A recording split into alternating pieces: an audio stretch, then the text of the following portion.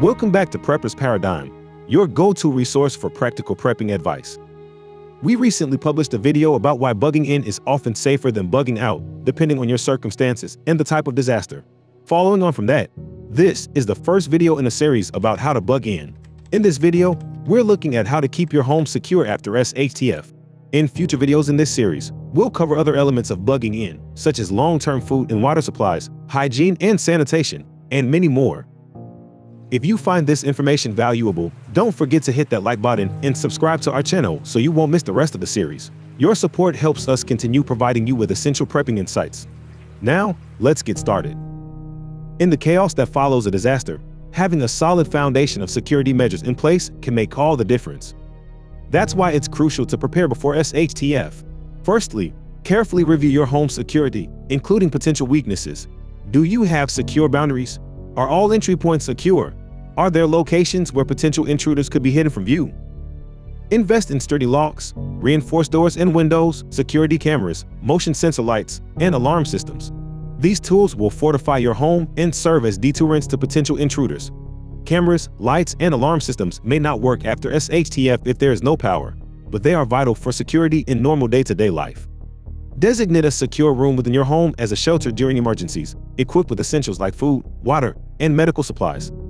Buy the materials that you will need to further secure your home when a disaster happens. For example, if you plan to board up windows after SHTF, make sure you have the boards, as well as tools and hardware you will require. You could even get the boards cut to size so that they're ready to use immediately when needed. It's no use trying to buy things like that after the disaster has happened. Consider how you will protect the boundary to your property after SHTF. If you have a fence or a wall, ensure that you have spare materials and tools to repair or strengthen it. Consider the current entry points through the boundary. Plan how you will reinforce those after SHTF2. You may also want to plant some thorny bushes around the boundary so it's harder for intruders to get past. If you plan to include weapons in your security strategy, and to be honest, that's probably a good idea. Ensure that you have the weapons stored safely but still accessible, as well as a stock of ammo and tools to maintain your weapons. Next, establish a plan with your household members. Decide exactly how you intend to respond in a variety of scenarios, including what will make you decide to bug in or bug out. For situations where you decide to bug in, Plan the actions that will be needed to ensure your home is secure immediately after the disaster, as well as roles and responsibilities of each individual. Clear communication is key to staying coordinated, informed, and secure during a crisis.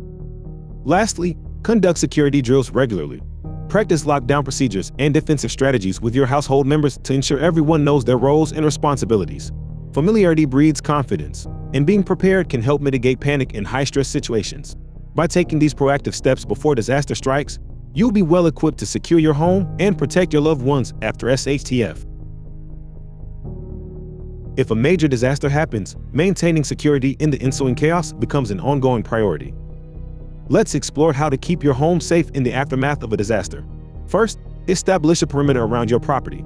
Ensure that the physical barriers are in good condition to deter intruders, and reinforce where necessary. A visible boundary can dissuade opportunistic threats and buy you time to react to potential dangers. Next, implement a watch schedule. Divide the day into shifts for monitoring the surroundings and maintaining vigilance against potential threats. Rotating duties among household members ensures continuous coverage and prevents exhaustion. Lastly, conceal your presence. Avoid drawing unnecessary attention to your location by keeping noise levels low and minimizing visibility from outside. Consider using blackout curtains or covering windows with opaque materials to prevent prying eyes from seeing inside. By proactively maintaining security measures after SHTF, you can enhance the safety and resilience of your home in uncertain times. When it comes to securing your home after SHTF, the approach may vary depending on whether you live in an urban or rural environment. Let's explore the differences and strategies for both scenarios. In urban environments, there are likely to be more people looting and stealing. However, there are potentially more people for you to work together with. Leverage the advantage of close proximity to neighbors. Form alliances and establish a neighborhood watch group for mutual support and defense. Secure access points and reinforce weak spots in apartment buildings or townhouses to fortify your living space against intruders. In rural environments, leverage natural barriers like terrain and vegetation. Utilize fences, gates, and livestock to create a perimeter around your property. Form alliances with nearby homesteaders for added security and resource sharing. Additionally, maintain a vigilant watch over your surroundings to detect any signs of intrusion. Whether you're navigating the bustling streets of the city or the serene countryside, adapting your security measures to suit your environment is essential for ensuring the safety of your home and loved ones after SHTF. Remember, prepping is about being proactive and prepared, not paranoid. By following these guidelines and staying adaptable to changing circumstances, you can ensure the safety and security of yourself and your loved ones when bugging in after SHTF. Stay vigilant, stay safe, and stay prepared.